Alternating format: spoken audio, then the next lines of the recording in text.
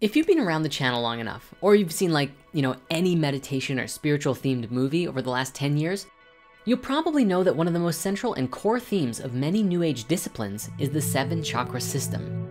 Whether you've used them as meditation aids or seen them in gift shops, you're probably at least somewhat familiar with the idea. If not, go and check out our videos on them to get a basic understanding. Or, you know, just watch Doctor Strange and see how it turned out for him. Anyway, today's episode is kind of a philosophical what if one in that we're not going to be assessing the scientific studies of energy medicine or the empirical existence of chakras, as even we'll admit, there's a lot lacking in terms of proving alternative medicine. Instead, this time we're gonna take a more open-ended question. What would the world look like if at some point in the future, we actually found scientific evidence of the chakra system? What if we discovered a chakra in the body or all seven? And how would such a discovery affect our approach to different branches of science and philosophy.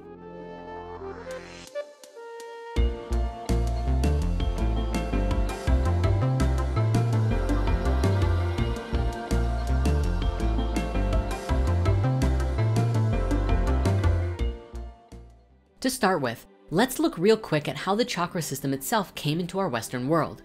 If you've watched our first video on chakras, you'll know that the modern New Age understanding identifies them as energy centers or wheels or vortices of energy inside the body that are associated with the classical Newtonian colors. But this wasn't always the case. In fact, the first uses of the term chakra in the Vedas didn't have anything to do with energy at all. Instead, it was used to refer to the wheel of motion that a king had over his empire.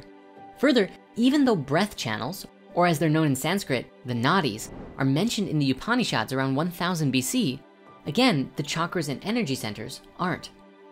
Most academics tend to agree that the idea as we know it today came about during medieval India during 800 AD from Buddhist texts that showed them as hierarchies of inner energy centers.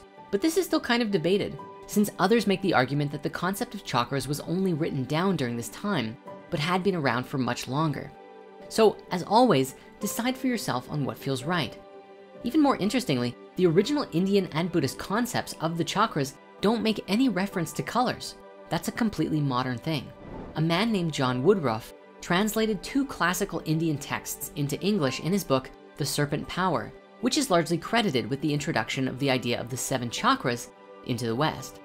You've probably seen a bunch of debates about the amount of chakras, with some people saying there are three, five, six, or like in his version, seven. See, the reason seven chakras are sort of canon is because the text that Woodruff was translating into English came from a school of thought known as Kaula that believed in seven, and that was just the only version we got in English.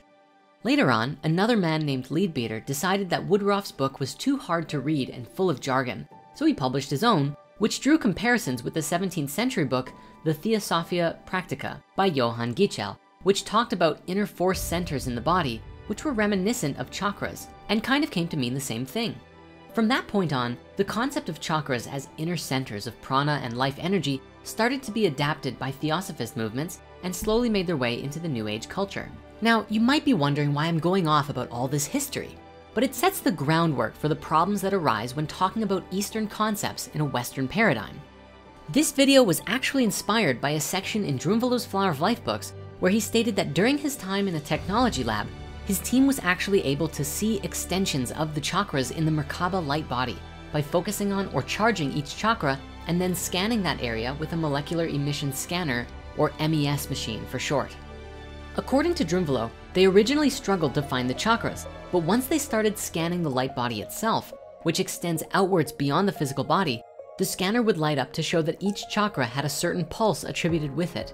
So this really begs the question, can the chakras be measured scientifically? And what would happen if a lab one day proved their existence experimentally, as perhaps they may even already have? Now, today, of course, we have things like Kirlian photography and biophoton imaging that seemingly can photograph the human bioelectric field, which some people are likening to the aura. But even this isn't enough to convince skeptics. So what would happen if we proved the chakras in a foolproof way? Well, the first thing would probably be a complete shattering of the current paradigm of understanding. Simply put, if chakras existed, one of the most central aspects of spirituality, what else could exist from that paradigm?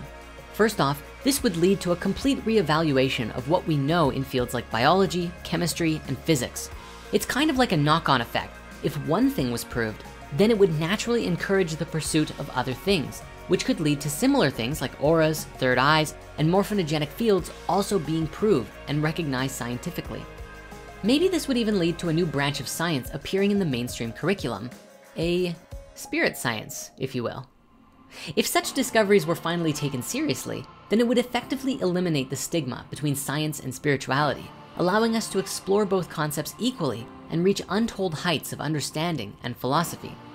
To quote Tesla, the day science begins to study non-physical phenomenon, it will make more progress in one decade than in all of the previous centuries of its existence. But what would society look like? What advances could we make holding the knowledge of the chakra system? Probably the biggest change for us would be in healthcare and medicine. See, the chakras, for the most part, stem from Ayurvedic tradition of ancient India, which is a practice of healing that stems back over 5,000 years and is often considered to be the foundation of all Eastern medicine practices. Here's where we see the fundamental difference between Western and Eastern practices like we've mentioned earlier.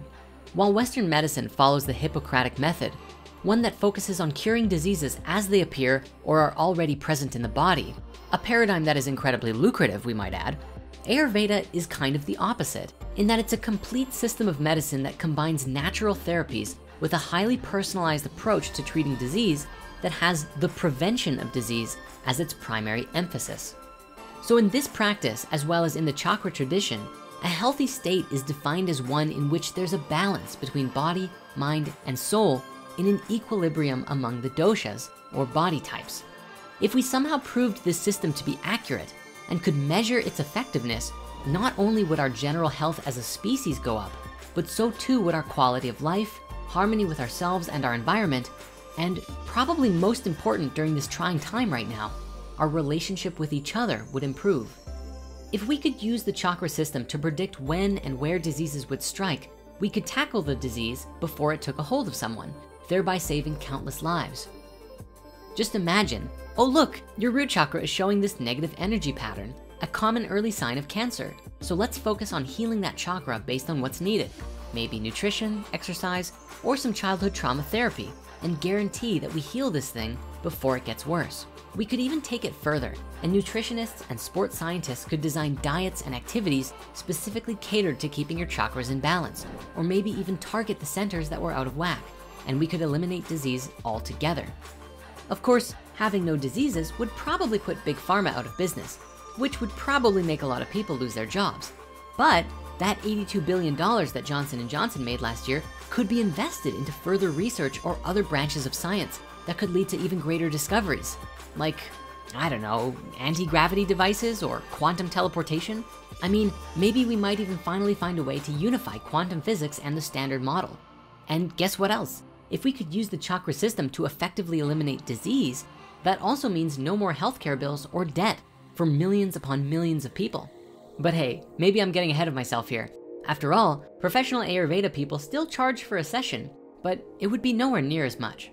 Even being conservative and saying that we could use the chakra system to complement Western medicine, it could pose a viable option for people who are allergic to certain medication or those who can't leave the house. Further, machines like the Aurastar, which is based on the sciences of biofeedback, reflexology, kinesiology, and concepts in Ayurveda medicine, can actually be used to measure biofeedback data and is way cheaper to produce than MRIs or CT scanners and could be used for similar diagnostic treatment. As a side consequence of this, it may even start to eliminate class divides with regards to access to treatment. Since the machines can be produced for much cheaper, anyone could access them. Just try and picture it. You wake up one morning and you're feeling a bit groggy or fatigued.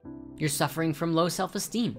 You grab your coat, drive to your local GP, and the doctor tells you that your solar plexus is weaker than normal and prescribes a series of meditations, foods, and exercises to help you get back to flowing normally. Heck, imagine couples or marriage counseling where people could go to therapy to work on rebalancing their throat chakra to enable better communication.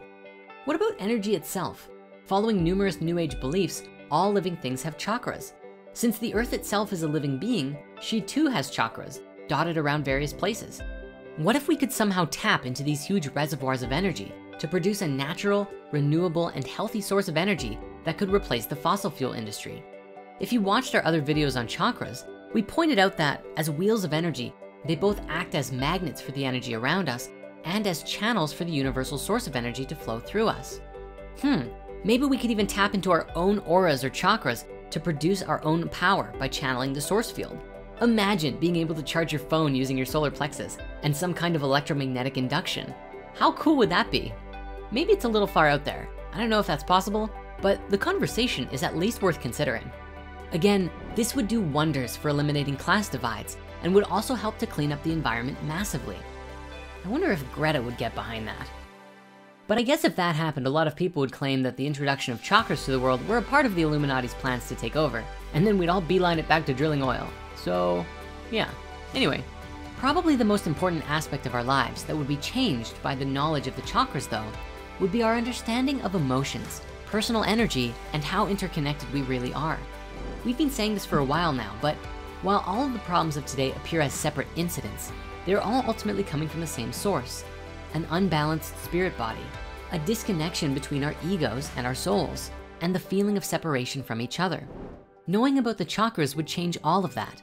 We would finally understand which areas of our spiritual body influenced which chakras, which in turn influenced certain aspects of our physical lives.